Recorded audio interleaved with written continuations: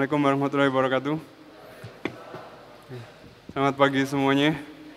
Uh, perkenalkan nama saya Suyanto, saya dari IT Telkom, saya alumni 93, saya dulu masuk ke kampus ini tahun 93. Dan lulus 98 kemudian bergabung ke kampus ini dan saya rasa uh, hal yang paling menyenangkan dalam hidup saya adalah bagaimana membuat uh, diskusi dengan orang lain dan membuat mereka uh, terus bersemangat. Itu hal yang paling mendasar kenapa dulu saya memilih sebagai akademisi. Sangat berbeda waktu itu dengan teman-teman saya di mana booming informatika waktu itu begitu terasa sangat kuat dan sekian banyak orang dari teman-teman saya mungkin hanya empat atau hanya dua persen dari sekian banyak yang bersedia menjadi akademisi. Karena waktu itu uh, tawaran dari berbagai perusahaan begitu menggiurkan dengan berbagai pilihan yang sebenarnya bisa didapatkan dengan sangat cepat dan mudah. Tapi saya memilih waktu itu adalah dosen atau akademisi adalah pilihan saya. Dan sampai sekarang, alhamdulillah saya masih bertahan di sini. Oke, baik kita akan lihat tentang apa itu AI dan bagaimana fungsinya untuk Indonesia. Ini tantangan yang sangat berat bagi saya karena di Indonesia AI hampir tidak pernah terdengar barangkali karena sangat jarang aplikasi yang bisa dibuat. Nah, waktu saya masuk pertama kali di kampus ini, informatika tidak ada sama sekali yang menarik. Dan bahkan saya waktu itu merasa saya salah jurusan dan saya harus keluar dari kampus ini. itu tahun 93 terjadi. Tidak ada sama sekali yang menarik di situ. Karena saya harus berpikir algoritmik saya harus memikirkan bagaimana menyelesaikan masalah. Jadi usernya yang berpikir, manusianya yang berpikir bagaimana mendevelop sebuah uh, program sehingga komputer menjadi bisa mengerjakan sesuatu.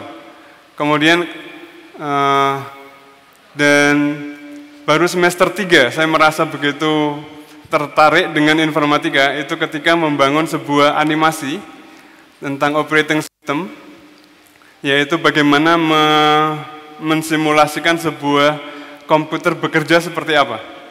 Dan di situ baru muncul ketertarikan tentang informatika dan bekerja sangat serius di situ. Kemudian saya berkenal dengan AI itu sekitar tahun uh, 96 di, uh, di semester 6 saya baru merasa tertarik oh ternyata komputer bisa didevelop menjadi lebih pintar dari yang sebenar yang seharusnya atau yang sebelumnya. Kemudian komputer bisa belajar dan bisa makin pintar. Dan sampai hari ini, posisi terakhir yang saya pernah pelajari adalah program bisa membangun program secara otomatis atau automatic programming. Jadi suatu saat mungkin programmer nggak diperlukan lagi. Kemudian satu poin lagi yaitu automatic speech recognition. Ini sebuah sebuah bidang yang saya tertarik sejak tahun 97 menjelang lulus. Saya benar-benar fokus di situ dan ternyata banyak hal yang menyenangkan di situ.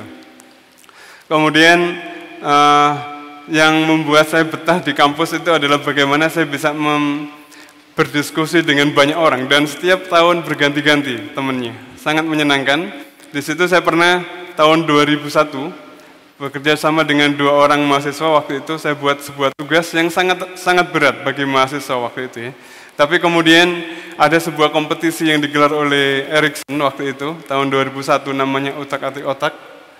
Cukup unik namanya. Di situ bagaimana uh, kita mendevelop sebuah mobile application internet. Jadi waktu itu masih zaman internet masih belum begitu banyak. Di situ sudah ada tantangan bagaimana membuat internet itu bisa mobile. Itu tahun 2001. Kemudian uh, dan salah satu hadiahnya kita sempat jalan-jalan ke Stockholm dan ke Stagongen, uh, Ericsson Research and Development Center di sana. Dan di situ saya mendapatkan banyak hal yang selama ini saya mimpikan, selama saya di kampus ini saya mimpikan, ternyata di sana semuanya sudah ada. Waktu itu internet masih sangat lambat di sini, di sana kecepatannya beberapa puluh kali lebih cepat dibanding di sini. Bahkan di sana sudah mulai 3G, third generation, third generation mobile internet, uh, third generation network ya. Di sini masih GSM yang masih jadul. Dan di situ kita sempat melihat adanya Bluetooth pertama kali diperkenalkan, kemudian uh, wireless application protocol dan seterusnya. Di sana memang pusatnya pusatnya wireless communication. Di situ kita waktu uh, kompetisi itu kita buat sebuah aplikasi di situ kita lihat handphonenya masih handphone jadul ya, handphone yang sangat besar dan kemampuannya masih terbatas. Tapi kita bisa mendevelop sebuah aplikasi yang uh, di situ kita bisa menampilkan map peta tahun 2001 waktu itu. Komputer juga masih sangat jarang, masih belum begitu canggih waktu itu. Tapi mobile internet kita bisa sudah bisa develop.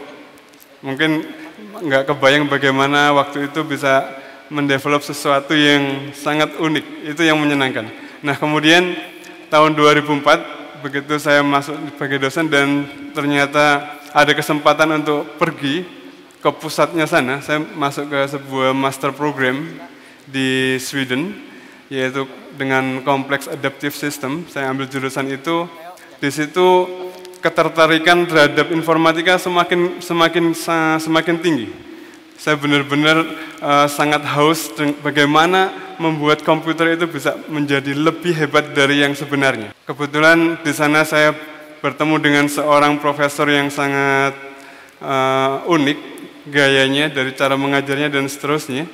Kemudian saya berkenalan dengan apa yang disebut sebagai evolutionary computation, sebuah komputasi yang sangat baru di mana komputasi ini sangat berbeda dengan komputasi komputer yang sebelumnya, yang murni algoritmik, di sini berubah menjadi sebuah komputasi yang sangat berbeda, yaitu uh, kemudian yang berhubungan dengan hampir semua sains.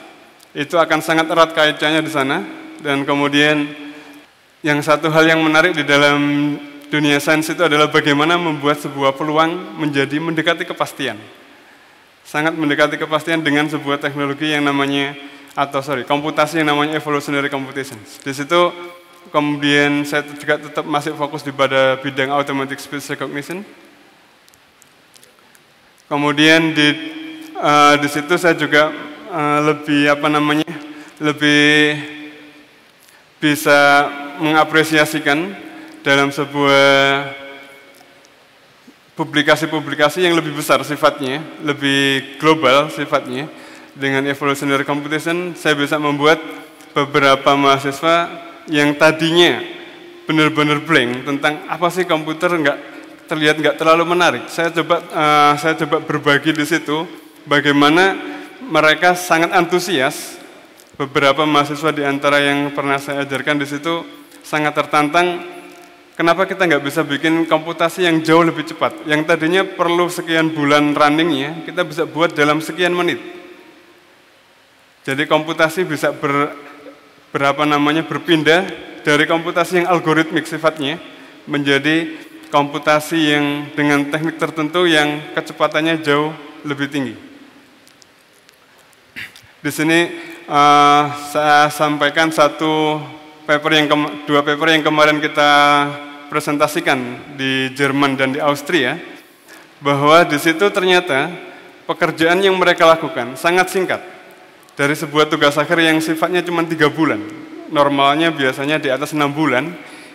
Dia mengerjakan hanya dalam waktu tiga bulan saja dan menghasilkan sebuah paper internasional. Waktu itu mahasiswanya uh, sempat ditanya oleh beberapa profesor di sana are you student ya yeah.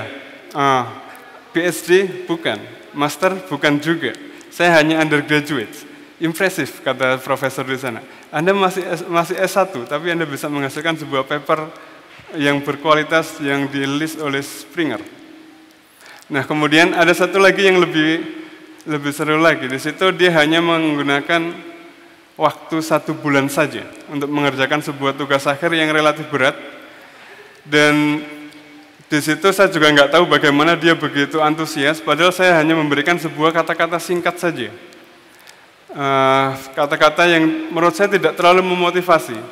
Saya cuma bilang, uh, apa namanya, kamu seorang anak yang pintar, cuma bilang yang sangat sederhana. Tapi dia begitu antusias dan begitu passion melihat sebuah komputasi yang tadinya bekerja sangat algoritmik, yang sangat sulit kelihatannya, menjadi sebuah komputasi yang cepat.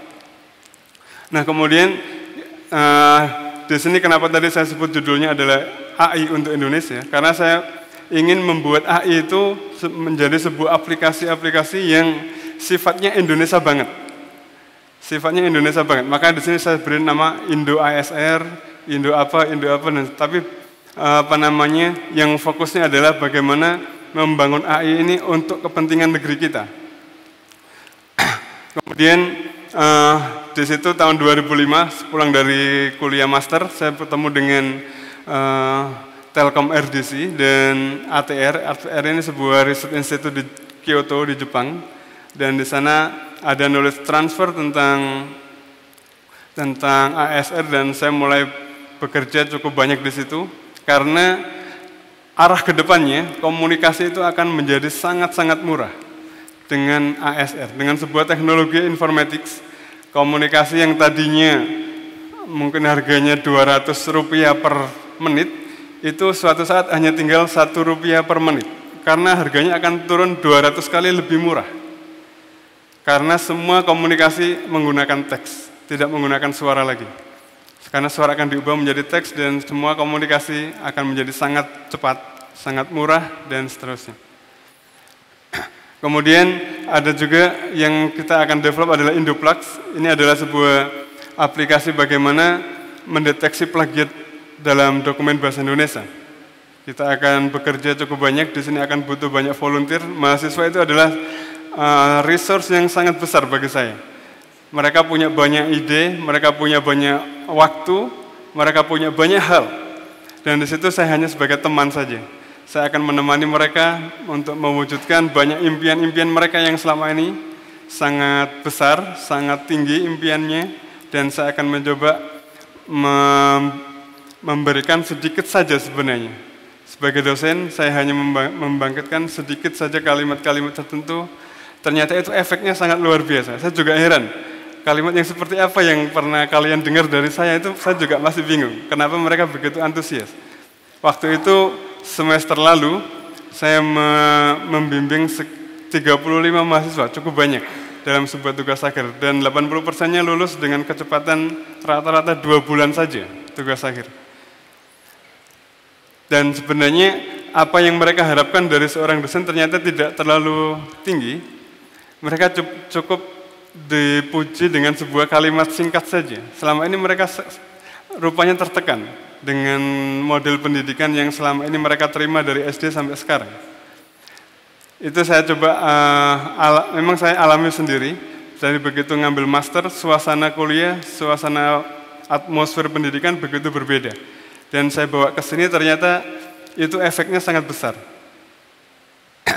Nah kemudian satu lagi yang sangat penting di sana, sorry, yang sangat penting di sini adalah bagaimana plagiarisme itu bisa dihentikan. Tapi itu memang impossible. Secara teknik hampir tidak mungkin di, dihentikan.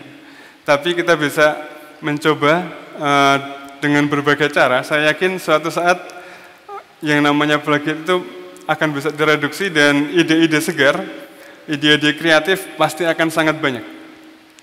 Kemudian eh, berikutnya adalah Indo IMR.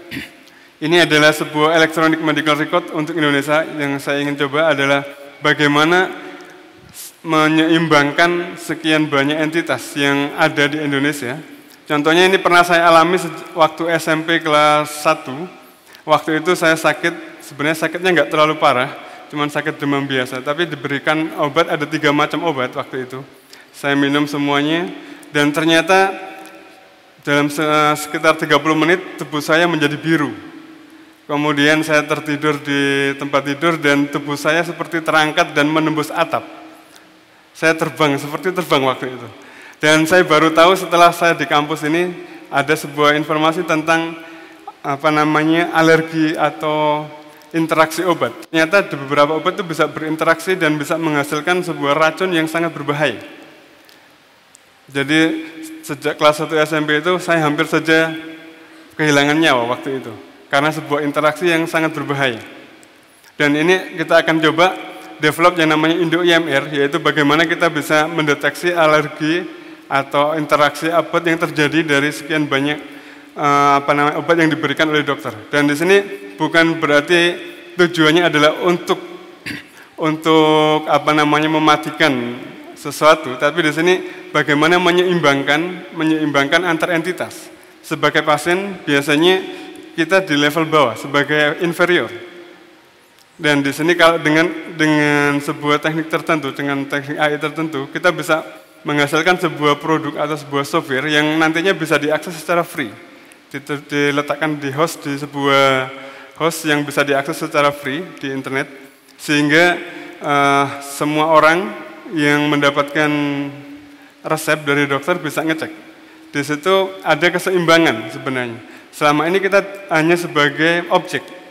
Dan dengan begitu seharusnya antara entitas misalnya dokter, rumah sakit, pasien dan sebagainya itu akan seimbang suatu saat dan itu yang diharapkan oleh yang namanya AI dan IT, ICT. AI ini adalah sebuah perluasan mesin di mana eh, mesin yang tadinya hanya bisa menghitung dengan sebuah komputasi algoritmik bisa diubah menjadi sebuah komputasi yang sangat berbeda dan kecepatan luar biasa.